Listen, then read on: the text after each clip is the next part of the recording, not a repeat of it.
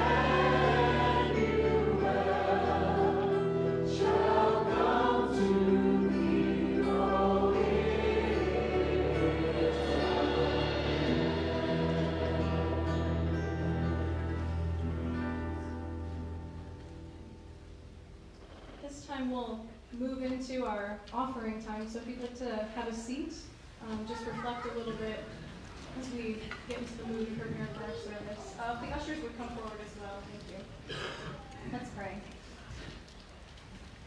Father God, we just come to you now in this season of Advent and ask that you would prepare our hearts um, to set aside the busyness and to be able to just have time that we reflect on you what it meant for you to come to us on earth.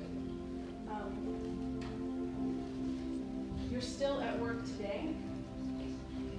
What you did thousands of years ago is still relevant and it's still here and you're still moving um, in new ways. So help us to just be ready in this period of waiting, this expectation, this thrill of hope that you brought to earth, to know that the hope was not just for people then, but it's for us now today too. That we can still have hope and see you moving in this place.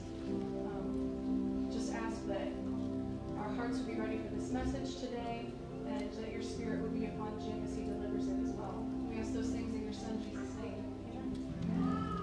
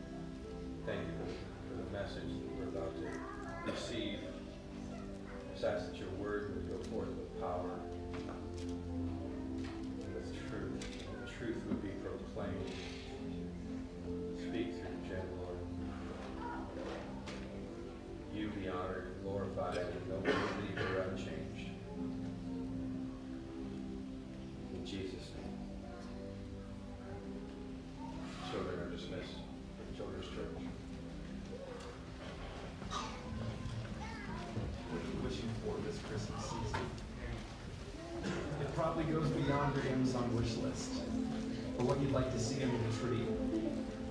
Your deepest wishes often have to do with regrets, failures, betrayal, broken relationships. But wishing comes with a sense of uncertainty.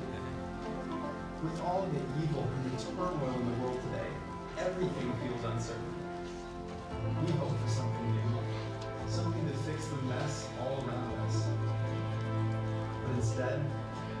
Things just get messier. Hope deferred makes the heart sick, and hope for many has been deferred for a long time. This is nothing new. It was into this same kind of hopeless climate that God sent hope into a broken world. People had abandoned the hope they once held, giving way to the hurt and pain and madness all around them. But true hope came in the form of a baby, born in the manger. Thrill of hope is that Jesus brought hope into a world that was hopeless. He came to rescue us all. This is what makes Christmas worth celebrating. Our Savior and King, Jesus Christ, has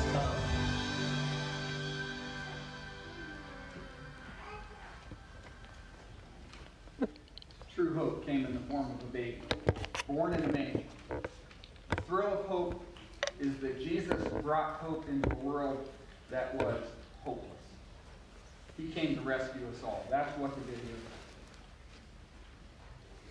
There is an important distinction that has to be made when it comes to hope in general and hope that is specific to God because this hope is all about prophecy. It is a message that was foretold, and it was what was taking place. Mary and Joseph were invited to live into that prophecy. According to Dr. Brent Kipfer, today about 500 million global followers of Jesus face major restrictions. That's more than one fifth of today's global church. So just take the people in here. If you're a family of five, at least one of you represents those in the global church that face major restrictions. He also says that over 200 million followers of Jesus faced severe persecution, public beatings, humiliations, imprisonments, and even executions. 200 million. Why do they do it? Why do they do it? How do they do it? It's because they live with the thrill of hope. Hope that comes from heaven in the form of this baby, because they have experienced God as Father. They've experienced Jesus Christ, the Son. And they have experienced the power and the authority of the Holy Spirit. Those who are in desperate situations seem to understand better the work of the Holy Spirit. They've experienced the hope of heaven that has touched earth. This hope came from heaven. And they live with the certainty of hope that was delivered that first Christmas night through the birth of Jesus Christ. So, as Pastor Kent pointed out last Sunday, by the time this story began to unfold, Israel had 400 years of silence from God. And yet there were devout believers who were looking forward to this promised Messiah. The nation's future was on the line. And the obvious question is do we really know that hope? Do we know the thrill of that hope? That hope in Jesus is what causes people to let God speak into their lives and completely change their trajectory, their plans, their expectations, their lives. So today we're going to look at Mary and Joseph. One carried and delivered heaven's gift of hope to this world, and the other protected that hope, and the one who carried it. So I'd like to ask you to start first. I know this seems like tackling quite a bit of scripture, but I'd like to ask you first to turn in your Bibles to Luke chapter 1. If you want to stick your finger in that, or, or know that later we will go to the Gospel of Matthew. But first, we're going to look at Mary. We're going to look at Mary for a very specific piece, a, a specific reason as it relates to hope. Now, much is made of Mary's age, and we'll get to that in just a second. But I'd like to read beginning in verse 26. In the sixth month, the angel Gabriel was sent from God to a city in Galilee named Nazareth, to a virgin betrothed to a man whose name was Joseph, of the house of David, and the virgin's name was Mary. And he came to her and said, Greetings, O favored one, the Lord is with you. But she was greatly troubled at the saying and tried to discern what sort of greeting this might be. The angel said to her, Do not be afraid, Mary, for you have found favor with God. And behold, you will conceive in your womb and bear a son, and you shall call his name Jesus. He will be great and will be called the Son of the Most High. And the Lord will give to him the throne of his father David, and he will reign over the house of Jacob forever. And his kingdom, of his kingdom, there will be no end. And Mary said to the angel, How will this be since I'm a virgin? The angel answered her, The Holy Spirit will come upon you, and the power of the Most High will overshadow you. Therefore, the child to be born will be called Holy, the Son of God. And behold, your relative Elizabeth in her old age has also conceived a son. And this is the sixth month with her, who was called barren. Nothing will be impossible with God. And Mary said, Behold, I am the servant of the Lord. Let it be to me according to your word. And the angel departed from her. Her age matters. But the truth is, we don't know exactly how old she was. She was old enough to understand how conception happened and old enough to travel to the hill country where Elizabeth and Zachariah lived. While certainly still in, in her youth, she was likely around 14 to 15 years old. That's the young lady that received this visit. That's the young lady who had an encounter with the angel Gabriel. Now, according to Fausset's Bible Dictionary, Gabriel means hero of God. How would you like your name to be? Hero of God, right? Gabriel, hero of God. As the archangel Michael represents the angels in their might in conflict with evil, so the archangel Gabriel in ministering comfort and sympathy to mankind in dark times. If you want to get a visit from an angel of God in dark times, you want this hero of God. So Gabriel explains to Daniel, for instance, the appalling prophecy of the vision Dan- that Daniel had in Daniel 8. And then he cheers Daniel up with the prophecy of the advent of the Messiah. This is going to happen. In the New Testament, Gabriel delivered the good news to Zechariah about the birth of John, as well as the birth of the Messiah himself to the Virgin. There is in Gabriel's manifestations, direct quote, there is in Gabriel's manifestations a simplicity and absence of terror. An absence of terror corresponding to his character as a comforter. This is the character of this angel who stands in the presence of God and is sent on this assignment to Mary.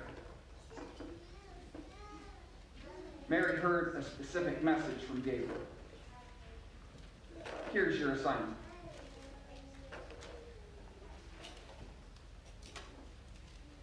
You are to carry the hope of the world.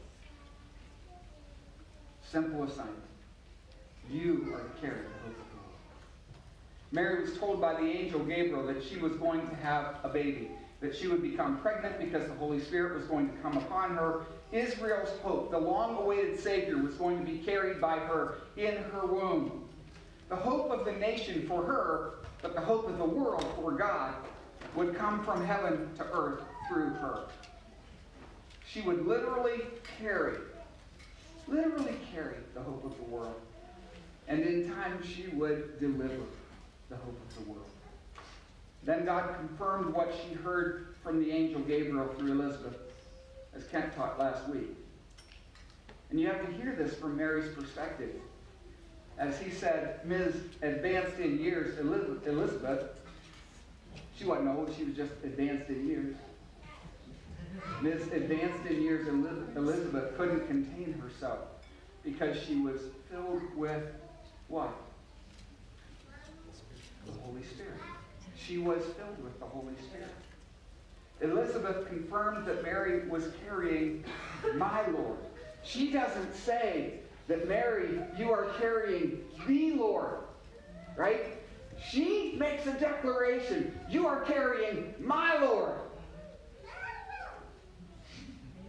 With that confirmation, Mary broke into song with my soul magnifies the Lord, and my spirit rejoices in God, my Savior.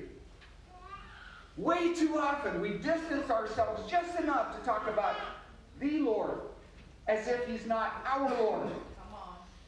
My soul has to magnify the Lord. My spirit at some time, at some point in life, my spirit needs to rejoice in God, my Savior. Not just the Savior. Mary's call was not to a short term nine month mission trip. Mary's call was to a lifetime of carrying, delivering, nursing, raising, and then releasing God's hope for the world. And in more figurative and yet just as real ways, such is God's call on all believers. It begins to make more sense that Jesus said in Matthew 5:14 to his disciples, "You are the light of the world." Make hope your mission. Be bearers of that hope. Carry the hope of Jesus into places of hopelessness. Deliver the hope of Jesus to people that thought God forgot them. We are surrounded by people who believe that God forgot them. Some here in this room. Nurse the hope of Jesus where people seem unprepared to receive some of the heavy stuff. Raise the hope of Jesus where people are afraid to believe it. And then release the hope of Jesus over and into those who are open and ready. Release the hope of Jesus. I'd like to invite you now to turn to Matthew chapter 1. Mary carried and delivered that hope. But in Matthew 1, we're going to see how Joseph protected the hope of the world. I'm going to begin by reading verse 18. Before I get to that, young Joseph's assignment was different than Mary's in this. He was to protect that hope. Joseph was likely in his late teens, and his plans were beginning to take shape. The most prominent was, was beginning the rest of his life with the love of his life, Mary. And even at a young age, Joseph showed tremendous character in his concern for her. Even though he misread what to him seemed obvious at first, it seems as though Joseph was one of those guys who could sleep. Regardless of the anxieties of his day, Joseph could sleep. And when he slept, he dreamed God dreams. Anybody here have trouble sleeping? Like, not this guy. Like when you read his story, you realize this guy could sleep. He's the one that that like he just lived through the worst day of his life and he went to bed and slept. Some of us envy him. It was in his dreams that an angel of the Lord spoke to him with specific messages related to his assignment. Son, you're supposed to protect the hope of the world. And you're supposed to protect the one that carries that hope. And to do that, you're going to have to be vigilant, you're going to have to be mobile, you're going to have to be flexible, and you're going to have to be adaptable. All of these are revealed in these dreams. Dream number one to protect God's hope for the world, stay vigilant. You cannot fear the repercussions of man when you're carrying out God's plan. Take Mary home as your wife. Matthew 1:18. Now the birth of Jesus Christ took place in this way.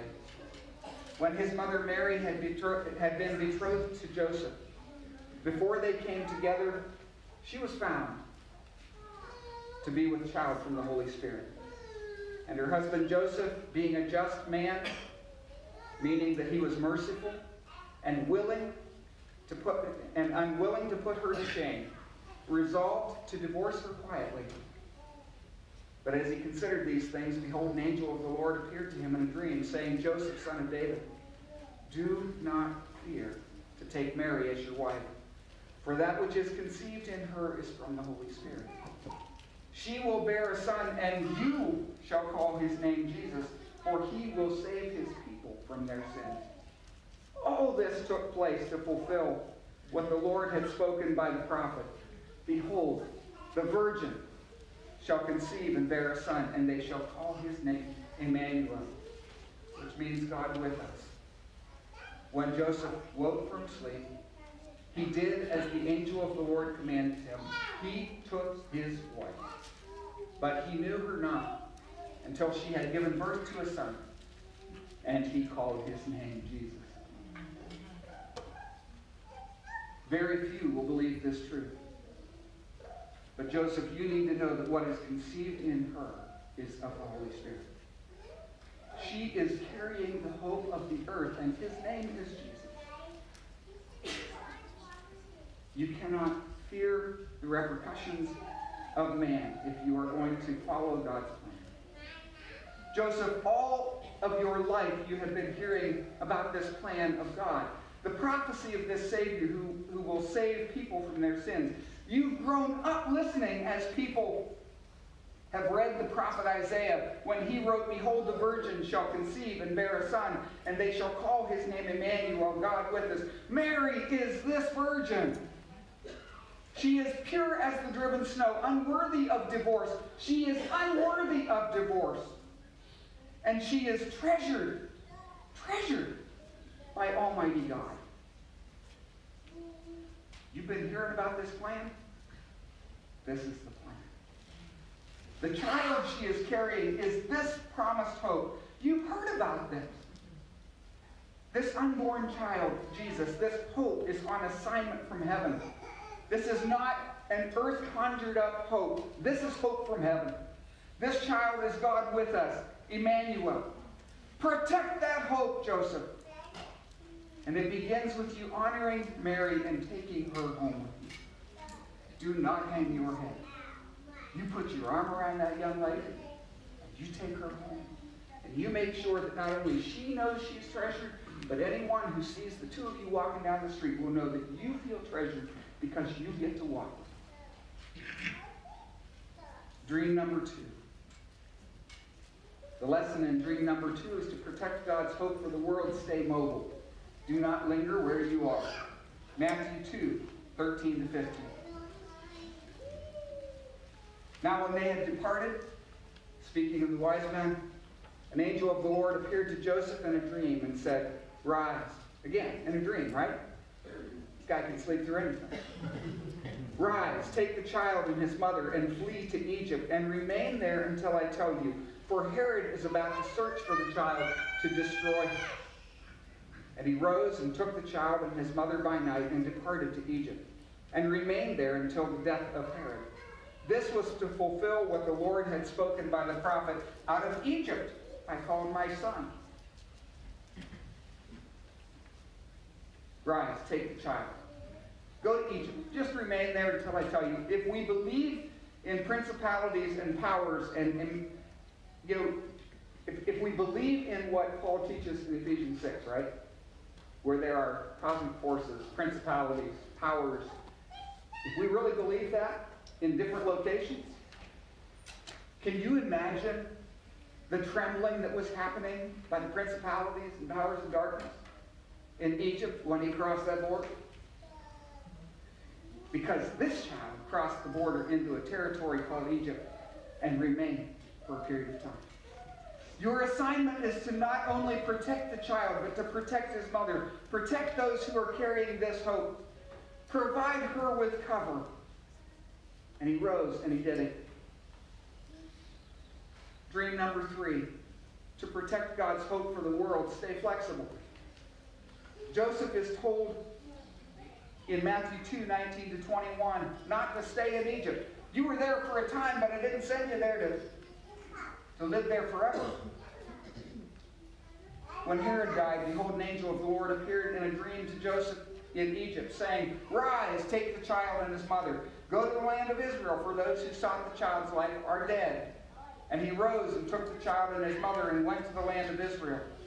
When he learned that Archelaus was reigning over Judea in place of his father Herod, he was afraid to go there, and being warned in a dream, he withdrew to the district of Galilee. He went and lived in a city called Nazareth that was spoken by the prophets that, some, that this might be fulfilled, fulfilled, he shall be called Nazarene. For Israel, Egypt had been this place of contradictions.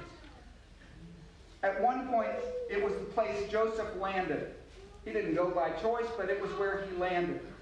And it would later be used by God to feed and shelter Jacob's family.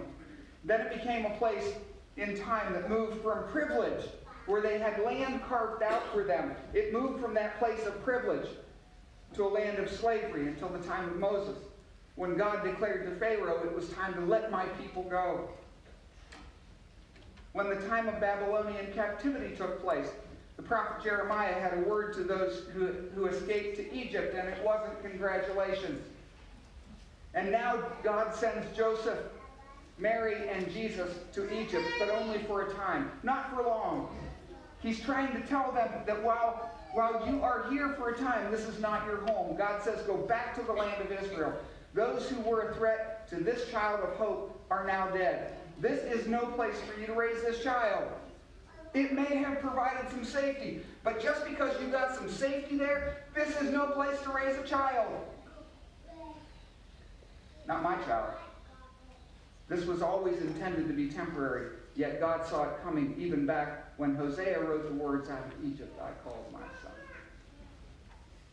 When God calls his shot, it is a matter of time until it all comes into focus. Skeptics had to be reading the Old Testament prophets and saying, somebody's got to be wrong. Isaiah can't be right if Hosea is right. But God. But God. Fourth dream comes from Matthew 2, 22 and 23. I've already read that, those verses. And it teaches us to protect God's hope for the world. You have to stay adaptive. Do not take this child of hope into a place of unnecessary risk and danger. Sometimes I get the impression that we think that the greater danger that we can enter either into ourselves or put other people into, we think we've just really proved our faith, right? Don't go there. Yes, go back home, but not to your hometown. Take this child of hope to the safety of an unlikely place for royal. All right, just think with me for a minute. Everybody's got their own hometown, right? You did not, many of us did not grow up here. The town that I grew up in, I was with a, a group the other day, guys that I graduated with in 1977. Yes, we had school in 1977. there were about eight or nine of us that were sitting around talking about our experience, and all of us began to reminisce like we would do, right? But we started to reminisce about the schools and that, that we competed against. And there was one school that when I said the name of that school, everybody went, Why? They were the school that everybody wanted to fight or got into a fight with. They were the school that when you drove down in, you felt like you were driving down into a dark place. Go to that town, that place. Royalty doesn't come from there. And yes, once again, God saw this coming, as Matthew 2.23 points out, through the prophets of old. Being called a Nazarene was a degrading insult. It was something like their own N-word. Nothing but degrading. There was no value in being called a Nazarene. This is what Jesus would later be called. Degraded as many of the prophets of old prophesied that he would be. When you read back through the Old Testament prophecies, you will see that they make the declaration this king, this Messiah, will be degraded. Isn't it good to know that God is not limited by the degrading insults of others? This is my life. These are the insults that have been spoken over me. But I serve a God who says, I can redeem. I have redeemed, and you are not that insult. That's right, that's right. God's hope for the world, Jesus Christ, was not defined by the insinuation of the Nazarene insult. Instead, Jesus Christ redeemed the degradation and turned that title into a mantle of honor. If Jesus is a Nazarene, then I too am a Nazarene, and I wear it with humble distinction. Where do we go with this? We've got Mary, who carried the hope of the world. We've got Joseph, who protected the hope of the world. Where do we go from this? For both Mary and Joseph, they heard from angels, messengers of God. This is your assignment. They each had their own assignment, but they needed each other to accomplish their call. The collective assignment. Mary alone? No. Joseph, you're part of this too. The two of you work together to carry out the assignment. They were not lone rangers, they were co rangers. Living under the authority of God to accomplish the will of God in carrying and protecting this child. This child, the hope of the world in the person of Jesus Christ. This child, Emmanuel, God with us. Most of the time, what I see and hear is people say, Lord, give me the life I long to live, and I'll do amazing things for you. But when God spoke to Mary through the angel Gabriel, her response was, I heard what you had to say. I'm the Lord's servant. Let it be to me according to your word. Joseph's response was similar. He didn't have much to say, but he went to bed with his plan and he woke up and did God's plan. He went to bed planning a divorce and woke up as a committed husband.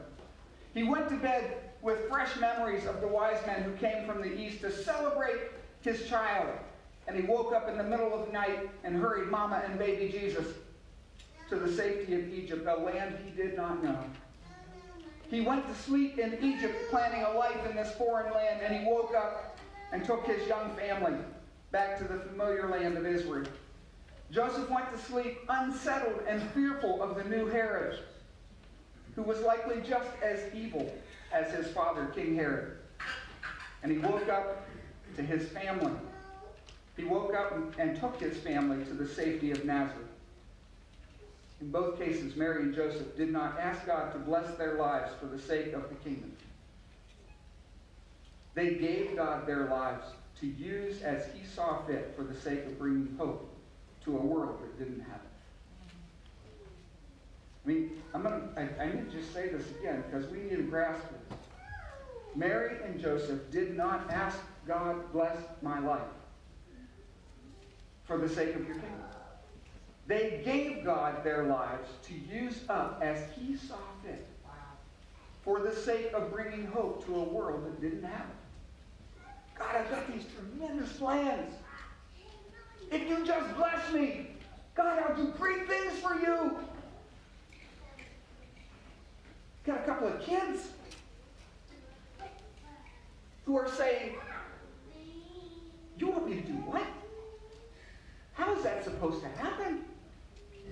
Cool, I'm in. I'm in. I want to live, I want to have more in common with the 500 million and the 200 million. I want to have more in common with Mary and Joseph. I want to stop asking God to watch what I can do for Him and experience more deeply what it means to hear from God, what He has destined for me. To say, I'm the Lord's servant. Let it be to me as you have said. And then rise from my sleep and do it. Oh God, speak. Send your messengers, the ones that come straight from your throne, and I will listen. I'd like to ask the day stringers to go ahead and come on back up. Get ready to play. Sometimes I think people wonder, and a few of you have asked me, what would make this day a success? Like, for a pastor, what makes a day a success? I'll answer that today. What would make this day a su- success is this. If just one more person here caught the difference between saying, bless me in what I want to do, and I am your servant. May it be to me as you say. If one person here hears that, and it alters your life, that will make today a success. Along with the follow up, where you wake up and you rise up and you do it. I want to invite you to take time with God, beginning as the Day Stringers play several songs about this gift of hope. I want you to listen to see if Emmanuel, the thrill of hope that comes straight from heaven, does he have a word for you? And I'm going to also ask that if you just want someone to pray over you today, I'm just going to ask Marissa and Cindy Miller and Aaron and Ted. If you guys would just go back, it just seemed fitting. I looked around this morning, I was praying about this. I looked around and I thought, you know what, we got a counter next to the kitchen, there's a serving table. If you want to be served by having someone pray over you today, feel free to get up while they're, they're playing. Go to one of these four and allow them to pray over you. We can talk about the hopelessness that we see in this dark world. But if we're really going to be honest and candid, I've had more conversations with more people, even in the last three days, here in our family, in our fellowship, that need to experience hope. Jesus Christ, the hope of the world. What he promised will be. If you want to be prayed over, join them.